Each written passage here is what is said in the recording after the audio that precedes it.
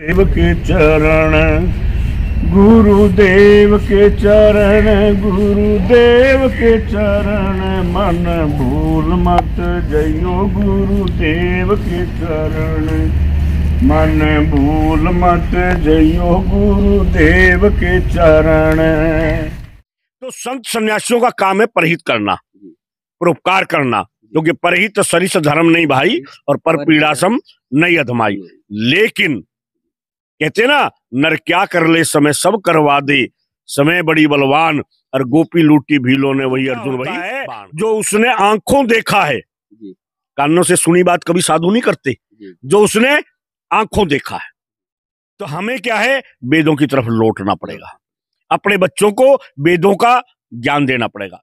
हमारे संत और सन्यासी सनातन की पहचान है सनातन के गौरव हैं।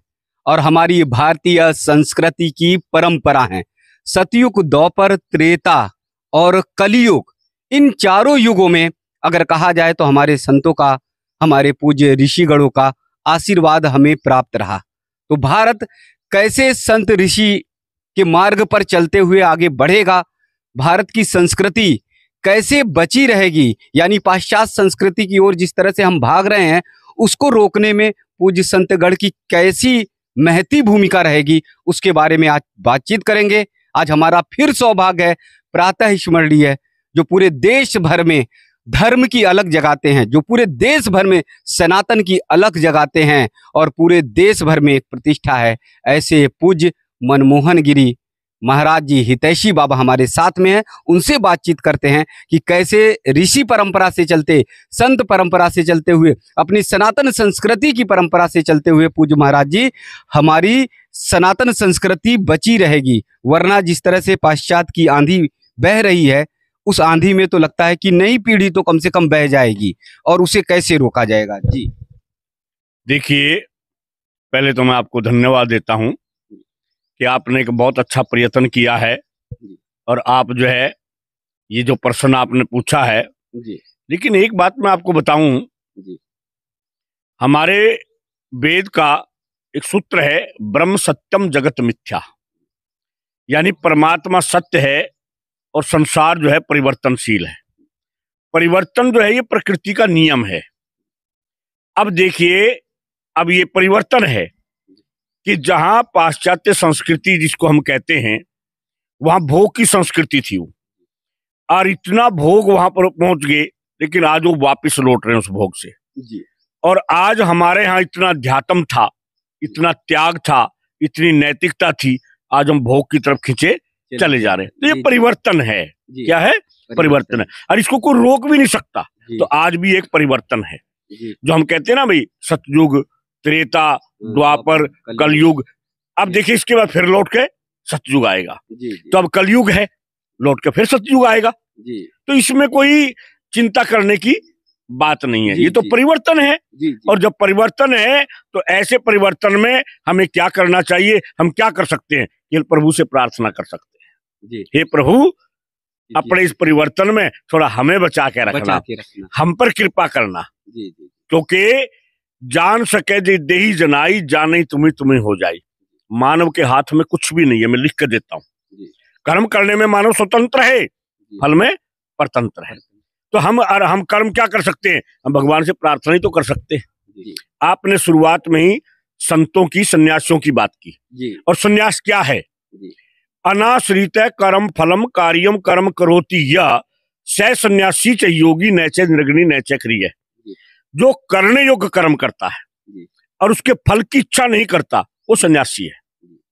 जो। दूसरों के लिए जिए वो सन्यासी है। जो विकारों का त्याग कर दे वो सन्यासी। है। और संत क्या है कि जिसके अंदर सदगुण होते हैं वो संत होता है। अब जैसे सत्य है सदाचार है सरलता है सेवा है स्वाध्याय है आदि ये जितने भी सदगुण हैं जिसके अंदर ये हो वो संत होता है।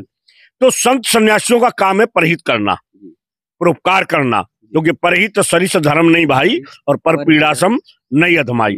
लेकिन कहते ना नर क्या कर ले समय सब करवा दे। समय बड़ी बलवान और गोपी लूटी भीलो ने वही अर्जुन वही बाण। बाण। Time your money and time your enemy समय का प्रभाव होता है। और आज समय क्या है? मैंने आपको बताया परिवर्तन है। हर क्षण इस प्रकृति में परिवर्तन होता रहता है। इसलिए आज ये परिवर्तन का समय है और ऐसे परिवर्तन के समय में साधु संत सन्यासी केवल अपने कर्तव्य का पालन करते हैं वो शोक नहीं करते चिंता नहीं करते वो हताश नहीं होते वो निराश नहीं होते लेकिन क्या करते हैं वो? अपने कर्तव्य का केवल पालन करते हैं। अब समाज पर उसका असर होता है नहीं होता उन्हें कोई चिंता नहीं है। हाँ अपने कर्तव्य का पालन करेंगे। इसका क्या फल मिलता है? इसकी उसे चिंता नहीं करते क्योंकि वो सन्यासी हैं। कहा ना कि काम्यानाम कर्मणाम न्यासम सन्यासम कवियो विदु। विद्वान लोगों ने कहा है कि जो करने योग्य कर्म करता है और उसके फल की कोई चिंता नहीं करता केवल। उसका काम तो कर्म करने का है और जब उसने कर्म के फल तो होगा ही होगा अब क्या होगा इसकी वो चिंता नहीं करता। तो लौटकर महाराज जी उसी प्रश्न पे आते कि कैसे नई पीढ़ी जो है वो पाश्चात्य संस्कृति की ओर जो तेज़ी से भाग रही है वो कैसे बचे? अपने संस्कार अपनी संस्कृति को बचाकर और जो भारत वर्ष गौरवमयी था वो भारत वर्ष फिर गौरवमयी हो देखो जी। इसका एक सहज उपाय है बड़ा सरल उपाय है। जी। हमें जो है अपने बच्चों को वेद की शिक्षा देनी पड़ेगी। जी। वेद का ज्ञान देना पड़ेगा। देना पड़ेगा। थोड़ा वेद को समझ लिए। विद धातु से वेद शब्द की उत्पत्ति हुई है। वेद का अर्थ होता है ज्ञान। हम अपनी संस्कृति से पिछड़ते क्यों जा रहे हैं?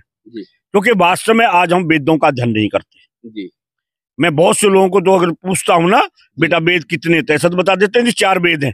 उनके नाम बताइए बहुत से लोग तो नाम ही नहीं बता पाते। कुछ लोग नाम तो बता देते हैं लेकिन उन्होंने आज तक देखे तक नहीं है। आज तक देखा तक नहीं। कुछ लोग मुझे ऐसे मिले उन्हें देखे तो हैं लेकिन आज तक खोल के नहीं देखा। देखा नहीं।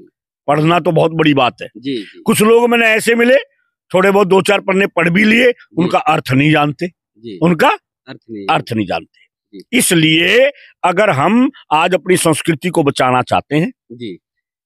तो हमें क्या है? वेदों की तरफ़ लौटना पड़ेगा। अपने बच्चों को वेदों का ज्ञान देना पड़ेगा। देखिए पहले हमारे यहाँ क्या होता था? हमारे वेदों में चार आश्रमों की बात थी। ब्रह्मचर्य आश्रम जी।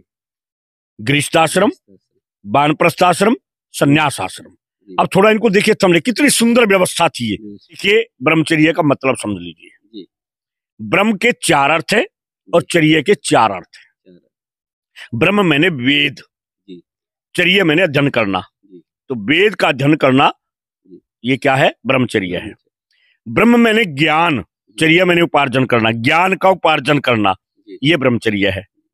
इसके बाद ब्रह्म मैंने परमात्मा और चर्या मैंने विचरण करना। यानी परमात्मा में विचरण करना परमात्मा का स्मरण करना ये ब्रह्मचर्य है।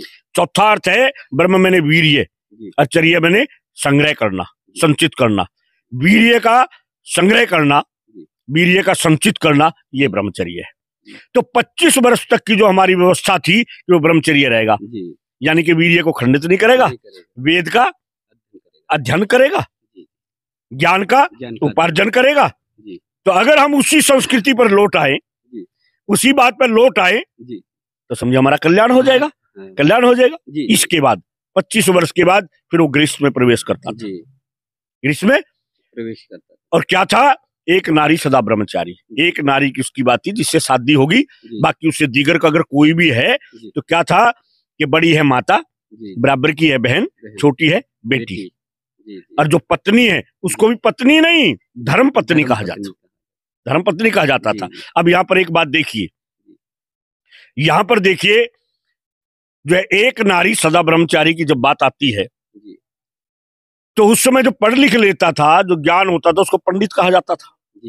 विद्वान को वो विद्वान हो जाता था पच्चीस मिनट को पंडित कहा जाता था। और उस समय देखिए उसका लक्षण क्या था? किसे कहा जाता था पंडित? मातृवत पर दारेशु जी। पर द्रव्येशु लोष्टवत आत्मवस्त्र भूतेशु यह पश्यती से पंडिता। जो। प्राय स्त्री को माता के समान समझता है। दूसरे के धन को मिट्टी के समान समझता है। और सब में अपनी केवल एक आत्मा को देखता है वो पंडित है। आज हम पंडित किसको कह देते हैं ये हमारी बात है। तो मतलब ये हमें वेदों की तरफ़ लौटना पड़ेगा। अगर हम चाहते हैं कि हमारी जो संस्कृति बची रहे और हमारी संस्कृति का जो है आज बोलबाला रहे तो निश्चित है कि हमें वेदों की तरफ़ लौटना पड़ेगा। अगर हम वेदों की तरफ़ नहीं लौटे तो संस्कृति को कौन बचाएगा? और संस्कृति को बचाने के लिए भाई वेदों की तरफ़ लौटना पड़ेगा। लेकिन आजकल पूज्य महाराज जी ये देखने को मिलता है कि पढ़ाई लिखाई करने वाले बच्चे अध्ययन करने वाले जो तैयारी कर रहे हैं तो कहते हैं कि कोर्स का इतना बर्डन इतना भार है कि वो तो वेद की बात क्या करें हनुमान चालीसा भी खोल कर नहीं देखते। नहीं तो ये देखिए ये किसके हाथ में? ये हमारे हाथ में ना? जी। हम इस शिक्षा पद्धति को बदले हैं ना? जी। इस शिक्षा पद्धति को बदले। देखिए दो चीज़ है यहाँ। पहले हमारे यहाँ क्या कहा जाता था? विद्या कहा जाता था। आज हमारे यहाँ शिक्षा मैं यही तो कहना चाहता हूँ भाई वेदों में विद्या है शिक्षा नहीं है। वेदों में विद्या विद्या है। है और आज शिक्षा है। जी। और शिक्षा और विद्या में क्या अंतर होता है? कि विद्या से विमुक्ति है। विद्या वो होती थी जो। बंधनों से मुक्ति दिलाती थी। और शिक्षा वो है जो आज केवल रोज़गार दिलाती है। शिक्षा की तरफ़ बढ़ाती है। जी। तो इसलिए हमें क्या है कि देखिए कि अगर आज हम इस शिक्षा प्रणाली को बदल दें फिर दूसरी बात ये शिक्षा प्रणाली हमारी नहीं है ये मैकाले की शिक्षा प्रणाली है।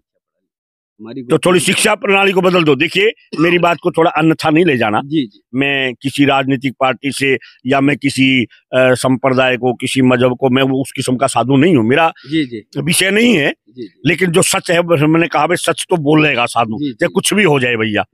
हम किसी की ईर्षा द्वेष कोई बाणी नहीं बोलेंगे। अब देखिए जिस वक्त देश स्वतंत्र हुआ सबसे पहला शिक्षा मंत्री यहाँ मुसलमान बनाया गया। क्यों?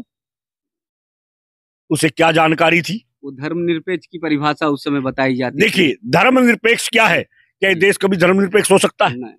दूसरी बात फिर धर्म के आधार पर बंटवारा हुआ था। धर्म के जब धर्म के आधार पर बंटवारा हुआ तो फिर धर्मनिरपेक्ष कैसे हो गया? तब तुम अपने धर्म के साथ अपने देश में जाओ यहाँ कैसे हो गया धर्मनिरपेक्ष? जो यहाँ की संस्कृति ये देखिए क्या है मैं आपको बताता हूँ। मैंने फिर कहा। मेरे पास इतना कुछ कहने को है जी। जो अपने आप को धर्मनिरपेक्ष कहते हैं ना। जी। लेकिन फिर वही बात आती है कि मैं साधु हूँ। मैं कहता हूँ सबका भला हो। क्योंकि मेरे को वो सिखाया गया मेरे माँ बाप ने मेरे गुरुओं ने वो पढ़ाया है कि सर्वे भवंतु सुखी ना। सर्वे संतु महाराज जी जो भाला मारे तलवार से काट दे उसका भी भला हो। नहीं उसके लिए दो चीज़ है। उसके लिए हमें ऐसे वीर तैयार करने पड़ेंगे। जी। मैं साधु हूँ मेरा हाथ क्षमा को जाएगा। क्षमा की ओर। मेरा हाथ क्षमा की ओर जाएगा। लेकिन मैं ऐसे बच्चे तैयार करूँ जी। जैसे बच्चे तैयार करूँ कि मैं क्षमा कर रहा हूँ। और वो फिर भी नहीं मान रहा। तो मैं ऐसे बच्चे तैयार करूँ जैसे विश्वामित्र का कम थे। क्या राक्षसों को मार नहीं सकते थे? क्यों राम लक्ष्मण को लेने के लिए आए। विश्वामित्र इतने सक्षम थे। हम्म, राक्षसों का वही खात्मा कर देते। इसलिए देखो मेरे पास ये साधु का चोला है। जी जी। तो मैं कहूँ कि उन्होंने मेरी तरफ़ भल्ला किया तो मैं उनका भल्ला घोष दू? मैं ये नहीं कहूँगा। हाँ मैं ऐसे बच्चे तैयार करूँ। ऐसे वीर तैयार करूँ। जी, जी। जो जो है हमारी तरफ़ जो भल्ला करे ना वो कर भी ना पाए उसे पहले ही घूप दे। छत्रपति शिवाजी बिल्कुल। जहाँ रहता अब देखिए छत्रपति शिवाजी की जहाँ बात आती है जी। गुरु जी। गुरुजी थे। जी जी। अब गुरुजी ने क्या है कितने क्या समर्थ गुरु रामदास समर्थ नहीं थे। वो तो थे ही समर्थ हर चीज़ में समर्थ थे लेकिन उन्होंने किसको तैयार किया? छत्रपति छत्रपति शिवाजी को। तो आज मैं कहता हूँ जो वास्तव में संत हैं साधु हैं सन्यासी हैं वो ऐसे बच्चे तैयार करें ऐसे वीर तैयार करें। या मैं एक बात ज़रूर कहूँगा। वीर हकीकत राय का मैं ज़रूर नाम लूँगा। अच्छा। एक छोटा बच्चा था। जी। छोटा बच्चा था। बच्चा था। अब देखिए मुल्ला जी ने कह दिया किसने जो है बीबी फातिमा को गाली दी है हम इसको फांसी पर लटकाएँगे। लटकाएँगे। माँ ने भी कहा जी। बेटा तू मुस्लिम बन जी। बाप ने भी कहा बेटा तू मुस्लिम बन जा। लेकिन उसने क्या किया? हाँ, हाँ। उसने उसने कहा कि धर्म से नहीं डिगूँगा मैं चाहे फांसी चढ़ा दो चाहे अच्छा अच्छा। गला काट दो। इसलिए आज मैं ये नहीं कहूँगा जी। कि तुम फांसी चढ़ जाओ। जी। मैं नहीं कहूँगा जो हमें फांसी चढ़ाना चाहता है जी। उसको फांसी पर तुम लटका दो उससे पहले ही लटका दो। जी जी। एक विषय पे जैसे आप कह रहे हैं कि हम ऐसे शिष्य तैयार करें तो आज मठ मंदिरों में कहाँ ऐसे शिष्य तैयार किए जा रहे हैं? मठ मंदिरों में तो प्रसाद है भोजन है बच्चा आनंद में रहो खुश में रहो यही चल रहा है। एक गुरुकुल की परंपराएँ जो मठ मंदिरों से चलती थी वो आज देखने को बहुत कम दिख रही है। इसमें किसकी कमी है? जी। ये आपकी कमी है। जी। हमारे यहाँ हर चीज़ का लक्षण है। जी। मैंने अभी बताया सन्यासी कौन होता है संत कौन होता है साधु कौन होता है। जी। अब देखिए साधु की मैं बात करता हूँ। जिसने अपने मन इंद्रियों को साध लिया वही तो साधु है। ऐसा तो कहीं नहीं लिखा जिसने भगवा पहन लिया वो साधु है या जिसने जटा रख लिया वो साधु है या जो मठ बना के बैठ गया वो साधु है। ऐसा तो नहीं है ना। जिसने अपनी मन और इंद्रियों को साध लिया वही तो साधु है। अगर तुम वेद पढ़ लेते तो तुम्हें पता चल जाता कसौटी हो जाती तुम्हारे पास और तुम्हें पहचान हो जाती ये साधु है या नहीं है। इसलिए वेदों की तरफ़ मुड़ो। मूल चीज़ है चीज़ है कि कि वेदों का ज्ञान प्राप्त करो। और जब वेदों का हमें ज्ञान हो जाएगा हमें अपने आप पहचान हो जाएगी भाई ये साधु है या स्वादु है। ठग है या वर्ण में हम क्यों जाएँगे? उसका विरोध करेंगे और हम संतों की शरण में जाएँगे। हम साधुओं की शरण में जाएँगे। कब? जब हमें वेदों का ज्ञान होगा। लेकिन ये आज कोई ज़रूरी नहीं है कि आप जो है ये ज्ञान मैं ये नहीं कहता मैं शिक्षा का भी विरोध नहीं करता। जी जी। भाई शिक्षा भी आज के युग में ज़रूरी है। ये भी बहुत ज़रूरी है। लेकिन शिक्षा के साथ साथ विद्या का होना बहुत ज़रूरी है। और बल्कि मैं एक बात ज़रूर कहूँगा शिक्षा हो या मत हो अगर हमारे पास विद्या है ना हमारा जीवन सुख में कटेगा हमारा जीवन शांति में कटेगा हमारा जीवन संतोष से कटेगा। भाई पक्षी जो है दो पंखों से उड़ता है ना व्यक्ति दो पाओ से दौड़ता है ना मैंने को शिक्षा भी हो विद्या भी हो। विद्या से क्या है? तुम्हारे बंधन खुल जाएँगे शिक्षा की क्या है तुम्हें रोज़गार मिल जाएगा। अपना खाओ कमाओ भी।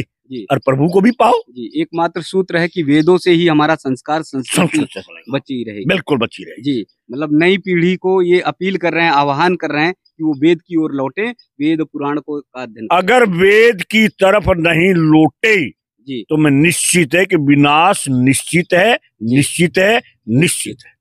अगर इस विनाश से बचना चाहते हो जी। अगर इस पतन से बचना चाहते हो। अगर अपना उत्थान करना चाहते हो तो वेदों की तरफ़ लौटना पड़ेगा। क्योंकि मेरी माँ ने मेरे को एक सूत्र दिया था कि पढ़ोगे लिखोगे बनोगे महान और जहाँ भी जाओगे मिलेगा सम्मान। माँ के शब्द थे अच्छा। तो मैं कहता मैंने क्या माँ ये पढ़ना लिखना क्या है? ये पढ़ना लिखना क्या है? लिखना क्या है? जी। तब पता क्या कहती थी वो? कि बेटा वेद को पढ़ना ही पढ़ना है। अच्छा माँ कहती माँ कहती थी। वेद को पढ़ना पढ़ना है। पढ़ना है। जी जी। उन्होंने ये नहीं कहा कि भाई स्कूल में जाके पढ़ना पढ़ना है। जी वो क्या कहती थी? वेद को पढ़ना वेद को पढ़ना पढ़ना। पढ़ना है। और उस वेद को जो लिखा है उसको हृदय में धारण कर लेना ये लिखना है। तभी महान बनोगे। इसलिए वेदों को पढ़ना और अपने फिर हृदय में या अपने कंठ में उसको लिख लेना। पहले क्या होता ना हमारे वेदों को श्रुति भी बोलते हैं। जी जी। श्रुति का मतलब क्या होता था? केवल वेदों को जो है गुरु लोग पढ़ाते थे ज्ञान देते थे वेद का और शिष्य लोग उसे कंठ में धर लेते थे। यही तो लिखना होता था। हाँ, तो इसलिए क्या है वेदों को पढ़ना बहुत ही ज़रूरी है वेदों का ज्ञान होना बहुत ही ज़रूरी है तो आपका धर्म बच जाएगा आपकी संस्कृति बच जाएगी और अगर आप वेदों का ज्ञान प्राप्त नहीं करते हैं तो भैया फिर धारोधार है ही फिर बह हम भी रही है साथ में। जी जी।